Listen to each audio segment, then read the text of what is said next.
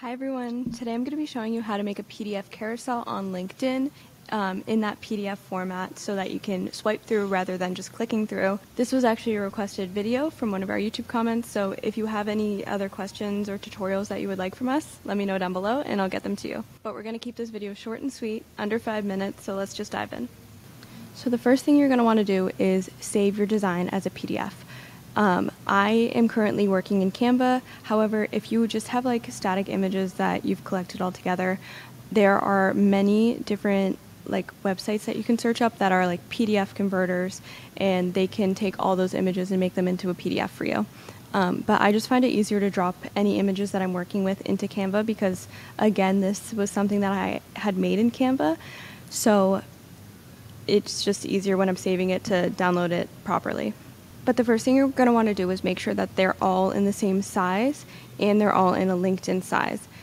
The LinkedIn size is 4 by 5 um, or just like these ones, for example, are the standard Instagram sizing that you can set on um, Canva. So that's usually what I do for all the posts because these are going out on Instagram as well. But what you're going to do to save it as a PDF is you're going to download it like normal. So click the share up here and then click download.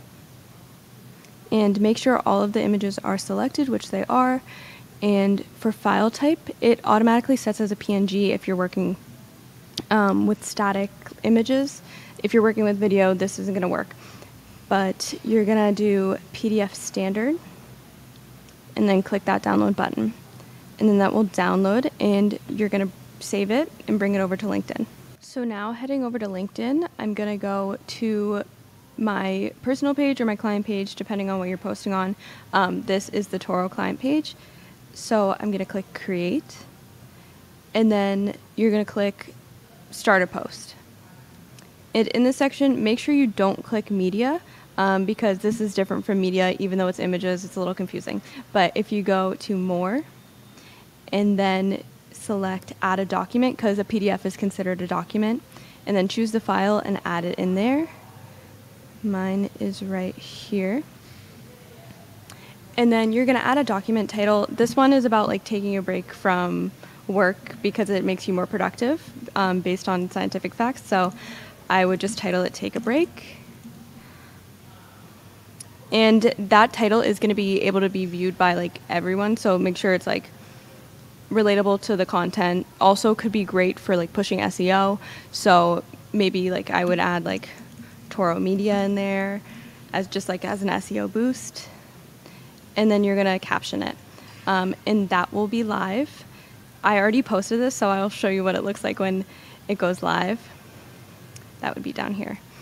So it would give you like that scrolling option, like we want.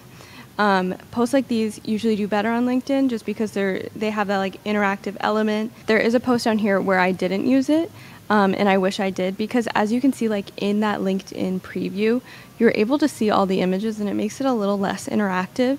Um, like, would I be like eager to click this and flip through? Not really, because I can kind of see like what the images are without even having to click it. But up here, like scrolling through, makes it a lot more interactive um, and keeps people engaged with the post. Some bonus tips that I just like to add when it comes to posting LinkedIn carousels is keeping the text very minimal.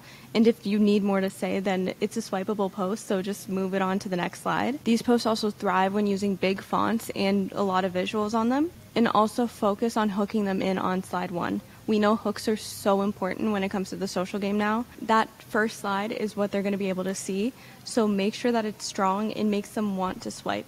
In the social game now, we know that hooks are stronger than ever. They really push users to continue viewing the content, so just make sure that hook is strong and makes them want to keep scrolling.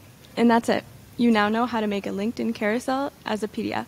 And if this helped you, please feel free to drop a like and a comment and again, if you have any tutorial requests, we read them, so drop them down below. And of course, don't forget to subscribe for some more tips.